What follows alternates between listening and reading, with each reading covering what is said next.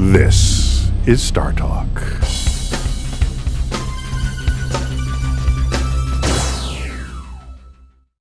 Welcome back to Star Talk Radio Live from the Marine Memorial Theater in San Francisco, California. Sketch Fest 13 on stage with me, everybody's favorite Eugene Mirman, everybody's second favorite Dave Foley, and Superman favorite Seth Shostak from the Search for Extraterrestrial Intelligence Institute. I'm your guest host, Bill Nye, the science guy, sitting in for my beloved Neil deGrasse Tyson.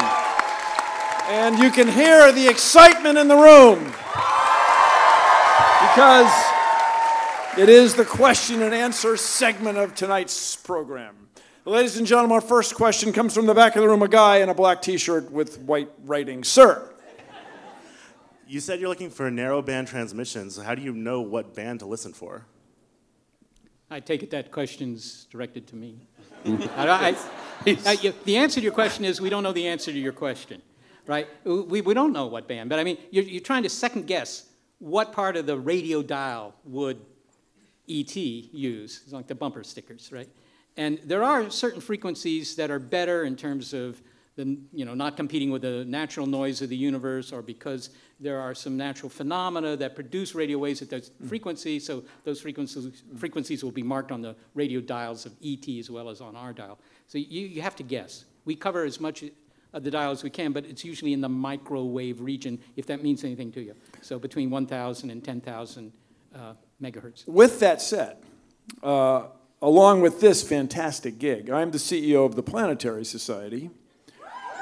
We work to advance space science and exploration for all humankind, and we also sponsor the optical search for extraterrestrial intelligence, where we are imagining that somebody would send a light signal, and we presume generally that would be a laser signal.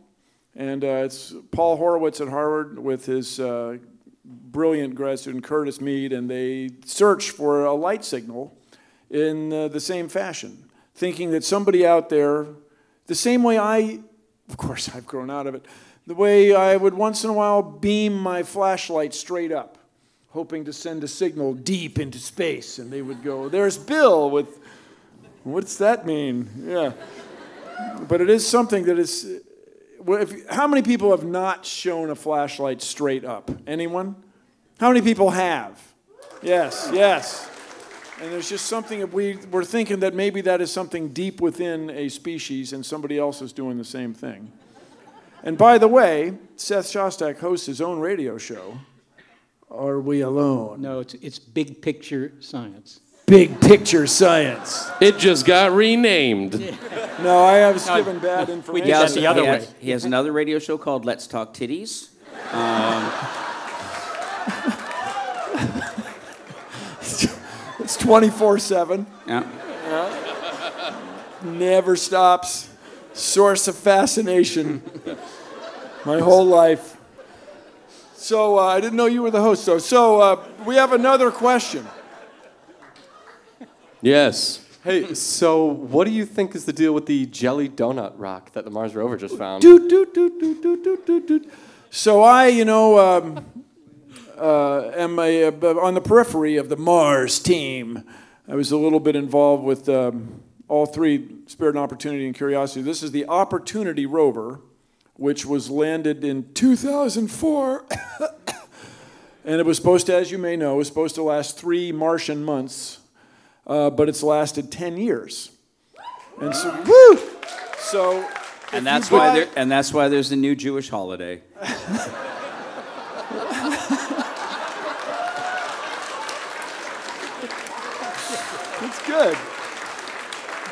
You grab this crowd. So think if you had a car with a three year warranty, this thing has lasted 40 times its warranty. So it's your car, you'd you'd be driving a, a car like that for 120 years with no maintenance. Anyway, so last week, the rover's on a piece of uh, Martian rock, fabulous, that orange color that we all know and love, looking at pictures of uh, Mars, those of us able bodied with color eyesight and so on. And there it is. And then a couple Martian days later, sols later, this white rock with a red middle shows up in the next picture of the same plate of rock. And do you know why? Nobody knows why. And so you start talking to these guys, uh, Steve Squyres, principal investigator, Jim Bell, one of the geologists. Oh yeah, this is like, man, this is unbelievable. It's just full of manganese and magnesium. We got no idea what this thing is. But to many of us, what's a rock? But but it's an extraordinary thing. Something happened on Mars right by this rover to produce this really noticeably different thing, not quite as big as a baseball, that tumbled into the frame. Now, it may be in the rover doing a pirouette, doing a pivot on its center almost, it chipped off something. Well, if it chipped off something, and that's what this thing is, where is the off chip place? That is to say, you would expect to find a complementary uh, socket for this, for this ball or what have you. And we haven't seen that yet. Of course, those guys were going to go looking. But it is not crazy to suggest that there was a meteorite impact a few meters away, like over the rover's shoulder. And this is ching, a little piece, poing, poinged into, that's a verb, poinged into frame.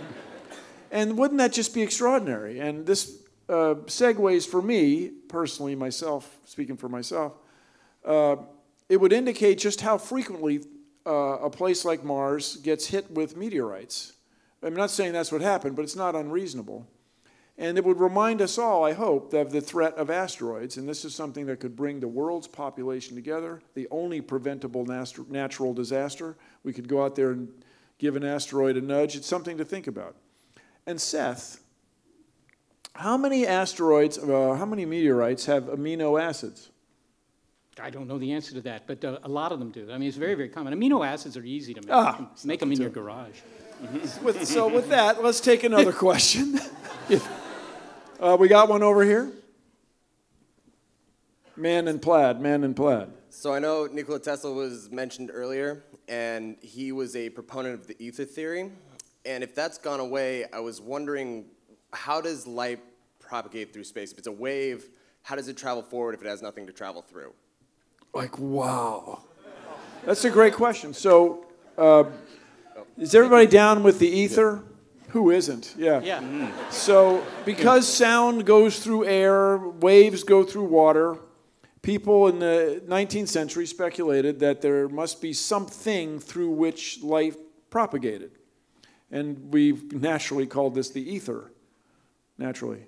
And uh, then, if there's an ether and the Earth is moving through space, one would imagine that if you did tests to measure the speed of light, say, going east and west, you would get a different answer than if you measured it going north and south because the spin of the Earth and the motion of the Earth in its orbit. But you don't. And so, just as a guy who took a lot of physics, I would say light propagates through space because it does. and. Uh, and along that line, if you do tests on, you're probably hip to this sitch. If you do tests on light to get waves, you get waves, and if you do experiments on light to get particles, you get particles. And so I always say I, I'm very skeptical that light has a problem with us not understanding it. and so this is, uh, if, if you could figure that out, perhaps you could come up with a new physics that would, dare I say it, change the world. But we can do these tests and reproduce these experiments easily. Light seems to travel uh, through a vacuum fine. It is the essence of energy, it is pure energy. Do we have another question? Okay, I'm exhausted. Yes, where's, uh, Hi. yes. Um, I was wondering, what do you think is the worst misconception that our society has about extraterrestrial life? Seth? That they need a blanket. That, that they be, that they be interested in uh, conducting breeding experiments with, with you, right? That's not Well, you personally. Seth, that's just that- rude. with people. I, I- I can't see who's asking the question. It's I, all a disembodied I would, voice. I would conduct breeding experiments with you. Yeah. Don't They, listen to. that, that they want Foley. to either mate with us or eat us. They want neither. Look, uh, I, you know, occasionally I get flown down to LA to consult with some producers, directors, writers of sci-fi films. And you would think that they'd be interested in the subtleties of maybe new physics or, or, or the gentleman's question about light, which is a good question. Uh, The answer is, is, you know, very subtle actually. But they're not interested in any of that. They're only interested in three things. They, the, the, the Hollywood guys, they're interested in why are the aliens here? What do they look like? And what sort of weapons do they have? Cool. And, Yeah. and what day Yom Kippur is? Have to atone for something. Now, you, you, you can't say much about that, but one thing you can address, I mean, what sort of weapons do they have. You know, I always think of asking Julius Caesar, what sort of weapons do you think the legionnaires are going to have in the year 2014?